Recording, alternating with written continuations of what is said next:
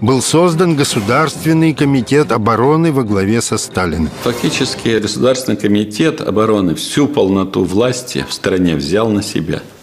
Конституция это, как знаете, не предусмотрена.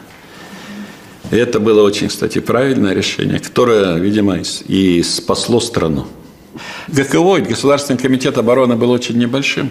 И создан он был специально для того, чтобы эту мощную бюрократическую машину, созданную в СССР перед войной, ее отодвинуть вообще от управления страной. Если бы эта махина продолжала руководить экономикой в годы войны, война была бы проиграна очень быстро. Нужны были очень резкие, очень разумные, взвешенные, в то же время быстрые решения.